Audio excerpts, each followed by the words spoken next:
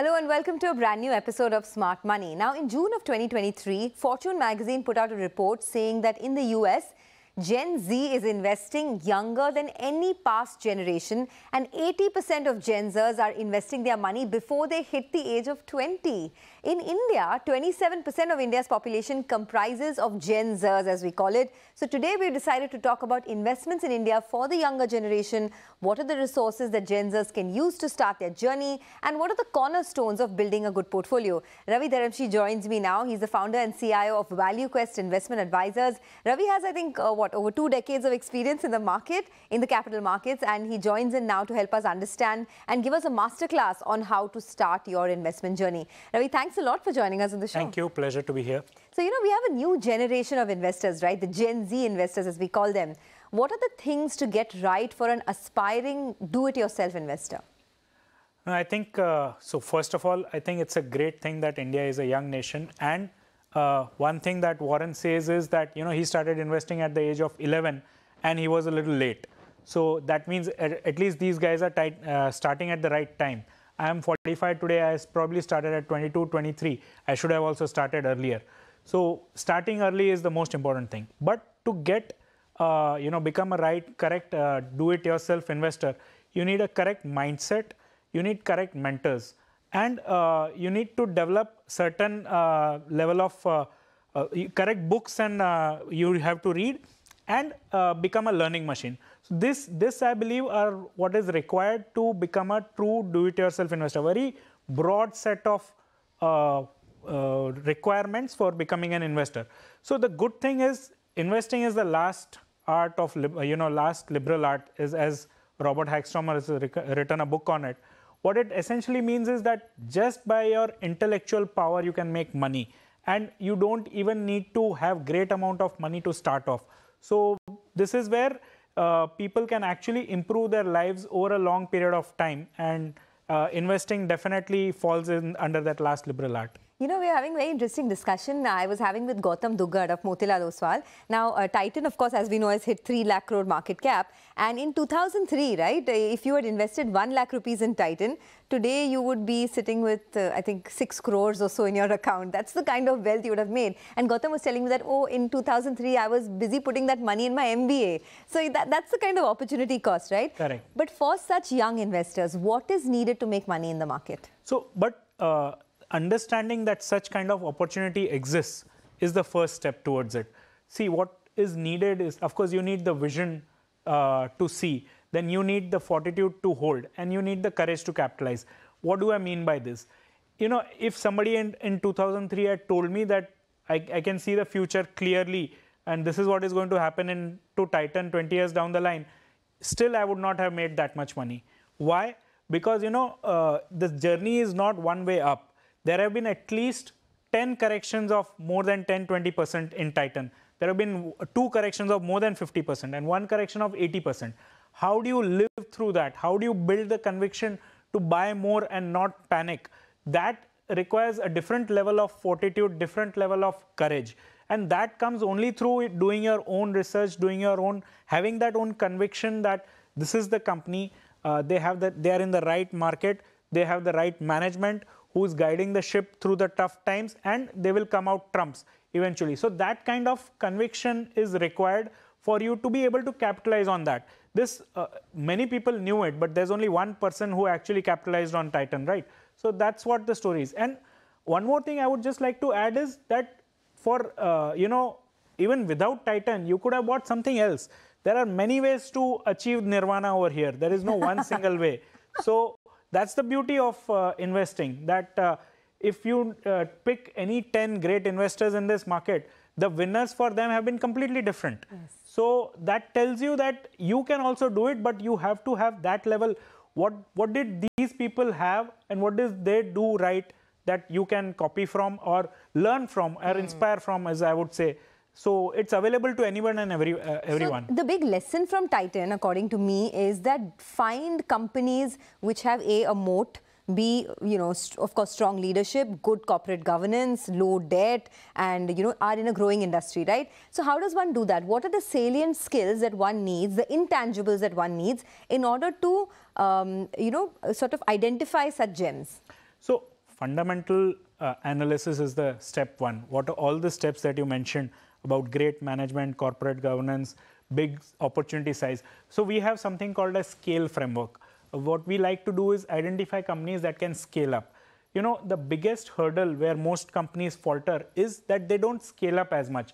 Many companies have a short spurt, short growth phase, but then those industries go through a maturity curve and they don't end up becoming uh, like Titan. So there is a lot of survivorship bias built into the uh, success stories. For every Titan, there is probably a Unitech that failed. For every uh, every success story, there are 10 failure stories out there. So what are the key ingredients that go into the, the three things that matter are uh, persistent, uh, profitability, sustainability.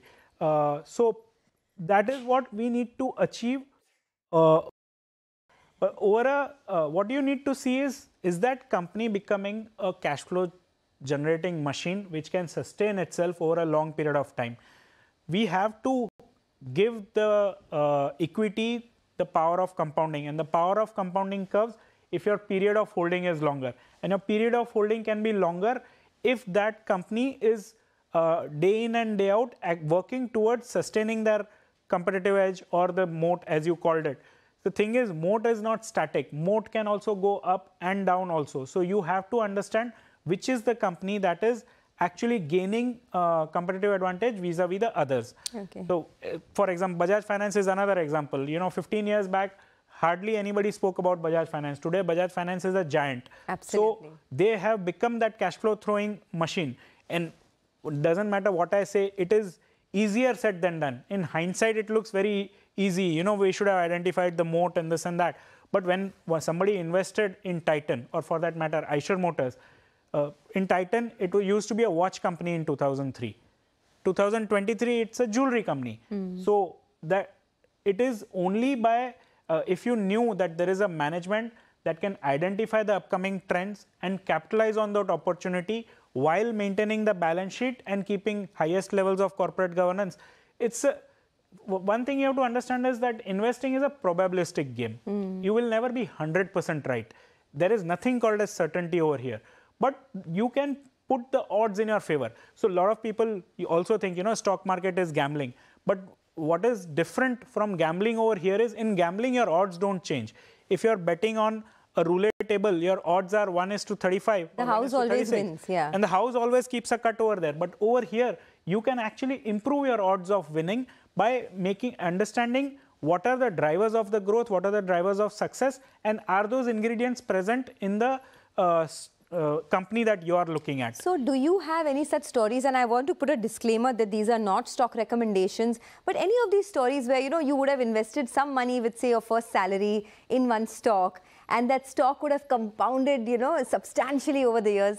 Yeah, I'm, I've been, I'm lucky enough to have such stories. Uh, in fact, uh, one of the company that I had invested when I was uh, still working with Rakesh ji, uh, in way back in 2005, we had invested in a pharma company called uh, Concord Biotech. Okay. Uh, and that company, it, it, was actually he was uh, seeding an entrepreneur who was uh, trying to uh, make his own mark in the field, and uh, we, we, would have invested in that company when it was barely 50 crores market cap. 50, and today, now it is listed on the markets and it is quoting at about roughly 13, 14,000 crores market cap. Wow. And I am still lucky enough to be a shareholder in that. I have sold about one third of my holding uh, when a private equity player came in about five, six years back.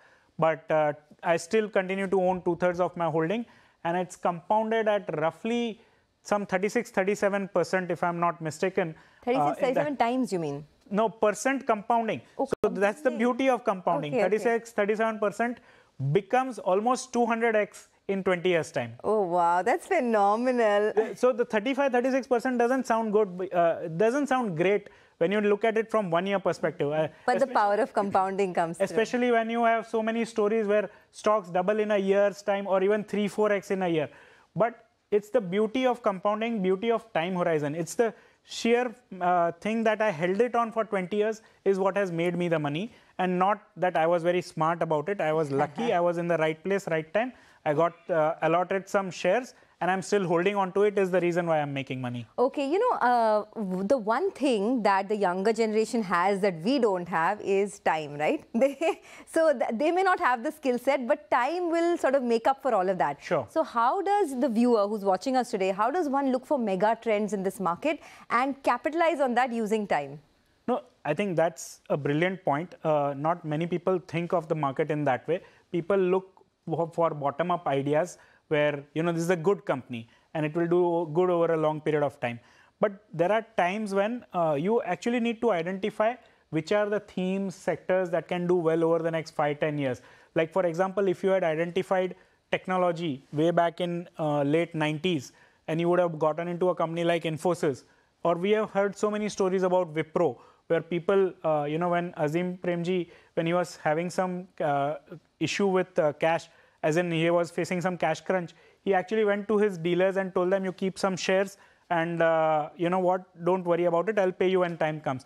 And those shares have gone on to become uh, worth hundreds of crores. So there are so many such stories, identifying IT in late, 20, uh, late 90s, identifying pharmaceuticals in early 2000s, identifying chemicals is as uh, uh, late as 2014-15, identifying uh, railway defense stocks three years back. Those were those are the kind of opportunities where your wealth can multiply multifold. Even so an entire here, sector is 10, 20x. Your best winner can be 100x also. So from here, if you had to identify some mega trends, and you know, based on your research, what would they look like? So I'll tell you one, there is a huge mega trend panning out, which is energy transition. Mm. I think the world is moving away from fossil fuel towards renewables. Now, the way the power is generated is changing, the way the power is consumed is changing, and in between, the way the power is going to be transmitted is also changing because the earlier, the, in the energy mix, for example, coal and uh, crude had a big part, which is the fossil fuel. But uh, uh, of course, the thermal power plant uh, is a very stable source of power plant. Now, as compared to that, uh, wind or uh, nuclear or uh, solar mm. are not so stable and are not so consistent. Nuclear might be, but solar and wind are not. So, uh, solar, for example, generates wind uh, power only during daytime. Wind generates only during night time. So, that is very different. So, but you have to still build capacity for transmitting at the peak level. So, if you are putting up a 1 gigawatt solar, solar plant, it generates only uh, 250 megawatt. It doesn't generate full 1 gigawatt. While a power plant, uh, sorry, thermal power plant would generate about 80, 90% of its capacity. So uh, the everything is changing in the field of energy, and there is whenever this happens, usually the way we like to play any particular large uh, theme is to find picks and shovel sellers. See, whenever there is a gold rush, now this is in in the late 1800s when there was a gold rush in California people had gone to dig gold and they were finding uh, gold in the river. Whether people found gold or no, we don't know. But the guys who were selling the shovels yeah. definitely made a lot of money. Yeah. So that is how you should be thinking about it. If there is a large trend that is happening, you have to find who are the picks and shovel sellers. Eventually, uh, renewable energy will become part of it and will the power generator will make money or no, we don't know but the guys who are selling the equipment to them will surely make money. Definitely so make That's money. how we think about uh, mega trends and how to play them. And that's perhaps why the Tata Tech IPO got sold out on day one itself, right? Subscribed within minutes or within hours of it opening because True. it, supplies to a sector which is electric yeah, it vehicles. plays yeah. on electric vehicle. Yeah. So electric vehicle is a theme. Uh, now, sure, there are bumps along the way. There could be flex fuel vehicles or we don't know which way the technology is going to emerge or no. But one thing is for sure that cars that we drive are becoming more and more software. They are not anymore uh, mechanical. So we are moving from mechanical to uh, softwareization of the car. And in that, companies like Tata Tech have a much bigger and larger role to play automatically. So, and they have an in-house customer, of course, which is their group company. And uh, they can actually uh, scale you know, up on that. Scale up yeah, in a big up, way. So that is why it is getting the kind of valuation mm that it is getting and it, it is a part of the larger uh, trend of, of, both the trends. One trend is the EV and other trend is the softwareization of the Okay, well, this is a very interesting discussion and we have a powerhouse of ideas here, Ravi Dharamshi, but we need to take a short commercial break. Don't go anywhere. We'll come back in just moments from now.